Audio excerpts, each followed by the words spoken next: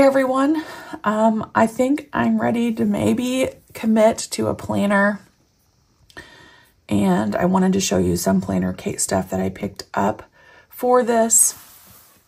She has a slew of Bold Blooms specific sheets and obviously they coordinate perfectly with the Erin Condren Bold Blooms colorway. And I'm just going to say that maybe, maybe this is going to be my Erin Condren planner starting here in July. I've done a lot of planner playing in June, planned out a bunch of different um, layouts, tried different things, and I think that I want to go back to my roots and go back to a vertical layout. So um, I'm going to be sharing with you some of the new Planner Kate goodies that I think will work perfectly in this planner. So one of those are sheets V74 and they are headers for the Bold Blooms monthly. And obviously they color coordinate. So July is this kind of heather pink mauve color. Getting technical here, making up color names. But the thing with the Bold Blooms is that I think that it's gorgeous. I love the pops of the colorway that Erin Condren included. But if you're using like a Planner Kate kit, let me just show you. Like, let's just pretend I wanted to use this. It's going to be really hard to cover up all of the Bold Blooms elements because it is so prominent on the month view. So while I will be using this planner and I think it'll be easy to cover up like these headers for the week view and use whatever kit I want, I think I'm really going to just leave it as a true Bold Blooms colorway for my month of view. But of course, I wanted to jazz it up a little bit. So I wanted to test out these monthly stickers from Planner Kate and kind of see what it's going to look like. I don't know that I am going, oops, I'm using the wrong color. I don't know that I'm going to do a full plan with me because it is so early, but I definitely wanted to start sticker testing to see which stickers I'm going to need for my planning. Okay, so this doesn't go all the way across. I'm going to center it on the page, maybe. So we have that strip and then we can put down the day of the week stickers over. I'm also considering making this a Monday start. I think I'm going to. I am using a day designer for my daily planner and it has a Monday start and I do prefer a Monday start. And since I have these stickers and the date dots to make that work, I think that's what I'm going to do. So let me put down these day of the week headers and then we'll chat.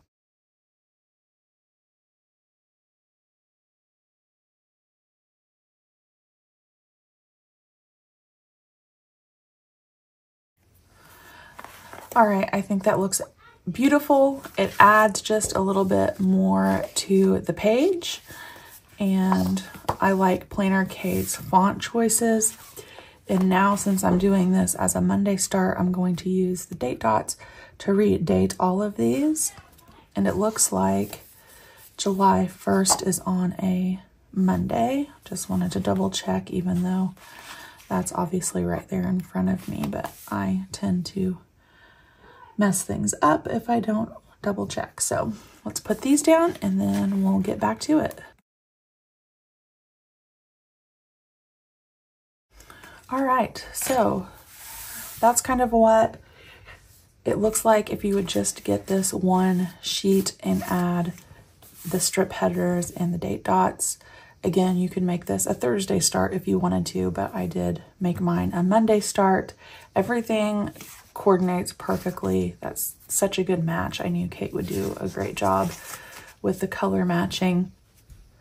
Okay, this is definitely not going to be a full monthly plan with me. My objective of this video was really just to show you um, what stickers are going to work on this Bold Blooms monthly because I feel like it could be a little tricky.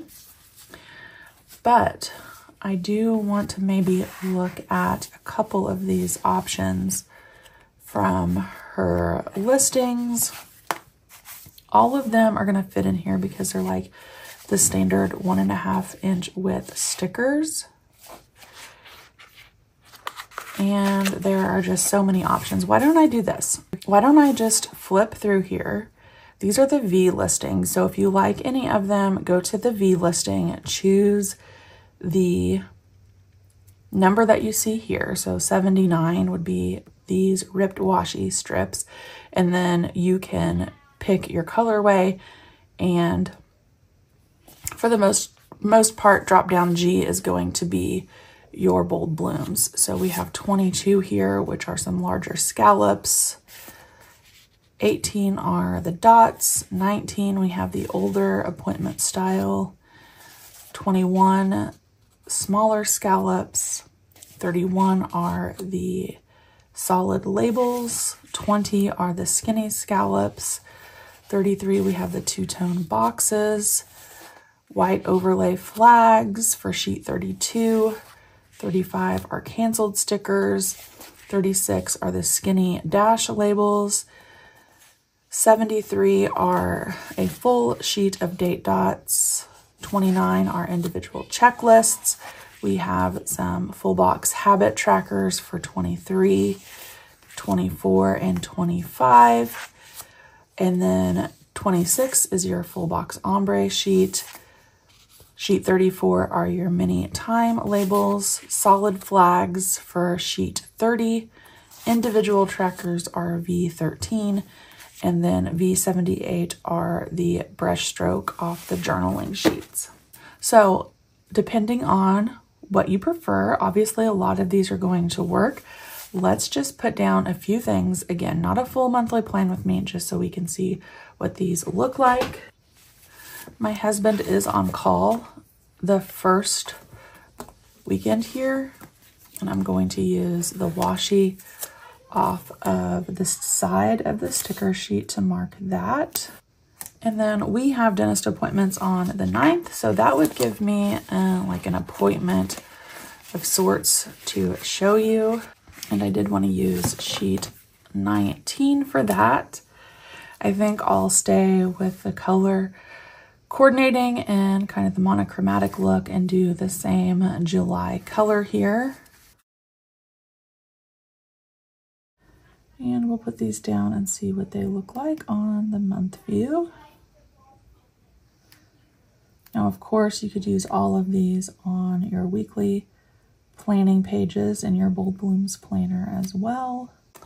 Okay, so that was a very quick look at the new, or at least some of the new Bold Blooms items from Planner Kate. Um, my plan is to continue this for the whole planner, like I said, so I don't have to worry about trying to cover up any of the colorway.